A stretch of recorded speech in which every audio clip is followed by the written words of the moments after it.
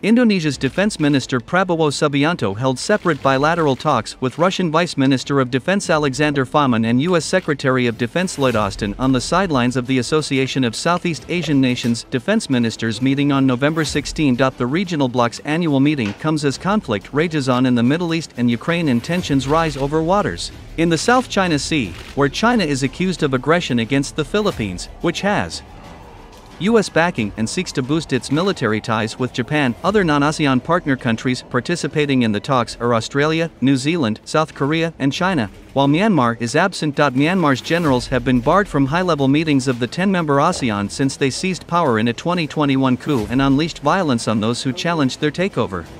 Okay, lagi nanti.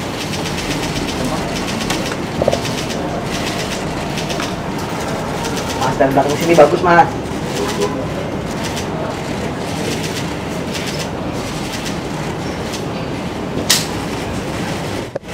Kang Mael, Kang Mael.